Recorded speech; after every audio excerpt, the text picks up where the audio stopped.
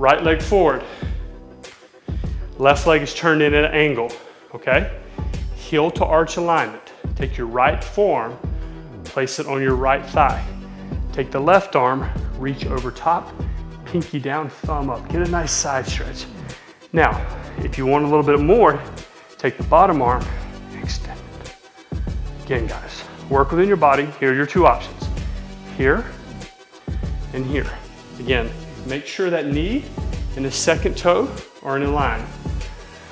Get nice and deep within the core, especially if you take that arm out.